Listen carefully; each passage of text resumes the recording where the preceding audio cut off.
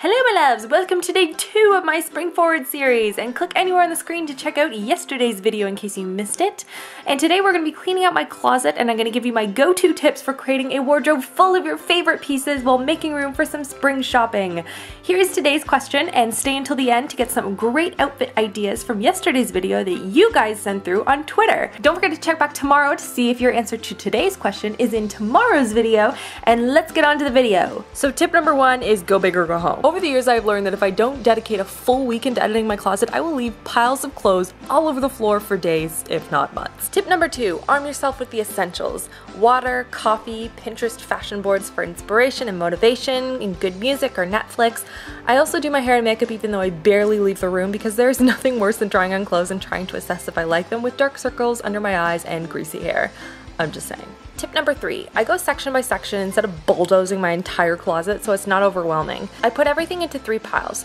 Recently worn and still love, anything that's pregnancy related because that's kind of, you know, my my stage of life right now, but it could be like a discard pile or a donate pile, or things that I need to try on still. Rarely does anything go into the discard donate pile at this point, but you never know, I still have it there. After that, I hang up the clothes I know I'm keeping and try on all my other clothes. If you can, have a buddy who can help you decide if something fits right, looks good, or needs to be donated. Since all my friends are away and Chris is useless at this kind of thing, I just end up texting friends pictures of outfits I'm not sure about. When I'm trying on my clothes, I try and be brutally honest with myself and ask the following questions. Have I worn it recently? Does it fit? Can I come up with three different outfits to wear it with? And does it match my style and the rest of my wardrobe? If my answer is no to at least half of these, I donate it or it becomes what I call a lend. Because sometimes I can get a little bit attached to my clothes, I've developed a system with my sister and sisters-in-law where I have specific articles of clothing that I give to them on lend.